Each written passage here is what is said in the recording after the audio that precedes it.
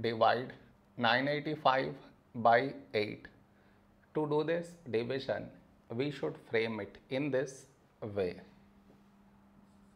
985 here,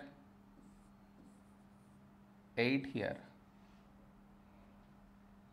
This is your step 1. Next, here we have 9, here 8. A number close to 9 in 8 table is 8 ones 8. Now we should subtract, we get 1. After this, bring down the beside number, so 8 down, so 18. A number close to 18 in 8 table is 8 twos 16.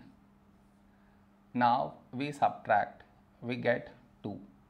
After this, bring down the beside number, so 5 down, so 25. A number close to 25 in 8 table is 8 threes 24. Now we subtract, we get 1. No more numbers to bring it down, so we stop here. This is our remainder, this is our quotient.